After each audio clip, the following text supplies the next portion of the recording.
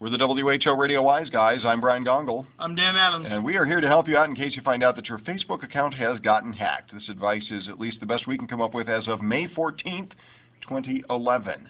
So again, how do you find out that your Facebook account has gotten hacked? This happens to a lot of people when they discover that there are messages being posted under their names or uh, messages being sent out under their names that uh, they didn't send at all. That's usually your first indicator that your Facebook account has been hacked, and we are here to help. So stage one if you discover that your Facebook account has been hacked is stop the bleeding. This is a three-part thing. Stage one is stop the bleeding, which means number one, you need to log in and change your Facebook password. So if you log in under Facebook, uh, you get a new Facebook password so that you can stop whatever messages are being sent out under your name from being continu or from continuing to be sent out. This is something that I think um, you know if you suspect anything going on, uh, you should just automatically do. First thing is that should be your first course of action. But the thing is, make this a temporary password, and we'll get to that in just a second. But make up a complex temporary password, write it down, and use it, but uh, be prepared to change it again. Step two is to delete all the fake messages that have gone up under your name. You don't want those being posted on other people's walls. You don't want messages going out under your name because these are crooks who are trying to take advantage of people. They're using your good name to spread their bad messages. So if you delete those messages, you will protect your friends and family from being attacked as well. So that's very useful stuff to do. So once you've stopped the bleeding, you move on to phase two of this operation, which is to root out the cause, figuring out how you got hacked in the first place. Now step one when you get into rooting out the cause is to update all programs. In particular, update your antivirus and anti-spyware programs, but update all the others as well. There's a very good chance that the browser that you're using is out of date. There's a good chance that the uh, email programs, for instance, that you're using are out of date. Update every program that you can find. Now, the way that you can best do this is we have a comprehensive checklist that's over at whoradio.com on the Wise Guys page that walks you through all of those programs you should probably be checking out. There are plenty more, but we've got a list of most of the uh, common ones that everybody should be doing. You want to use the latest versions of everything, web browsers especially, but also your antivirus programs so that you can move on to step two, which is to run a comprehensive antivirus scan. This is where you do a complete top to bottom scan of your computer everything that's there and you do this using your antivirus program. You should do this on a regular basis anyway, like once a week, once every couple weeks at least. Um, you should do this. But if you've gotten hacked, it's very likely that what's happened is, is that you've downloaded something you shouldn't have, and that is doing things like uh, checking in on the keystrokes that you're logging onto your computer, which includes your passwords and things like that. So you need an antivirus scan to protect yourself against those. And part two of this, or part three rather, is to run a comprehensive anti-spyware scan. It's related to the antivirus. Many times they're actually integrated into the same thing, but you want to run each of those because it's either a virus or spyware, most likely that's uh, giving somebody else access to your account. And again, you should be doing this on a regular basis.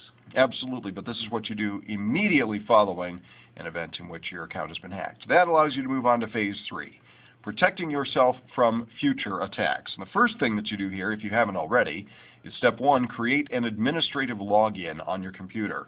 So you get into that thing, set up an administrator-only account. You don't want to be running your computer ordinarily in an admin level, which means you're allowed to do everything. You want to be running your computer normally in a limited access account. The only thing really that's limited in a limited access account is that you can't load new programs. But the thing is that viruses are programs, so it helps the computer protect you. If you need more advice on this and more information on it, again, the link is over at whoradio.com on the Wise Guys page explaining how to set up an administrator-only account. Very valuable stuff to do.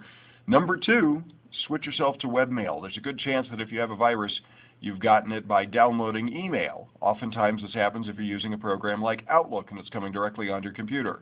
I advise using webmail as much as possible, a service like Gmail or Hotmail or Yahoo Mail. Anything that allows you to use a web-based service to get to your email so that you don't download things onto your computer directly, you look at them through a web browser. It just adds another level of security. Number three, lock down your wireless network. This is something that not everybody does. People have gotten a lot better about it than they used to be. But there is a possibility, remote though it may be, that your wireless network is open and is accessible to people who just happen to be literally driving down the street. This, you don't want that. In this day and age, when you, when somebody can get onto your unsecure wireless network, download stuff, and you suffer the penalty for it, this should be automatic. You should be locking down your wireless network and not allowing anybody else to get on it. Absolutely. So that means securing it with a password. It also means, though, by extension, don't use services like Facebook when you're in, for instance, a coffee shop or in a library or at a bookstore using somebody else's wireless network or an airport, for instance. Don't use services that allow you to log in and use your passwords and usernames on services that don't require you to be secured before you get there. Don't use unsecured wireless networks for these purposes. Ever. Seriously, just don't do it. Step four, switch browsers if you haven't already. If you're using Internet Explorer, use a different browser, whether that's Firefox or Chrome or Opera or even Safari for Windows. Switch browsers. There's a very good reason behind this. It's that more people use Internet Explorer than anything else, so that's what the crooks target when they're writing viruses and things like that to attack browsers. We we have been saying this for years. Um, use a different browser other than Internet Explorer, and the chance of you getting hacked or you getting any kind of a virus, it goes way down. It does decrease Way, way down. significantly. It's the, like the old line, why do crooks rob banks? Because that's where the money is. Why do people who are crooks write viruses to attack Internet Explorer? Because that's what everybody's using. So if you get away from that, you will uh, decrease your level of susceptibility. It's not perfect, but it's a very helpful additional step. Finally, go back into Facebook, and for step five, change that Facebook password again. Because the thing is, you changed it originally to stop the bleeding, but you didn't have your computer secured when you did that. So there's a good chance that whoever captured your password to begin with got your new password when you changed it. So this is what you do after you've locked down the computer and increased your security and saved things. You need to go in and change that password again. And for further advice, anytime, catch us for the WHO Radio Wise Guys. I'm Brian Gongol. I'm Dan Adams. And you can catch us every Saturday at 1 o'clock Central Time on News Radio 1040 WHO.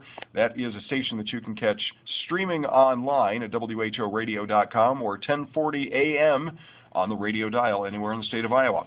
So check us out anytime you need helpful advice on trends, tips, and technology. We'll be here for you, including if your Facebook account gets hacked yet again.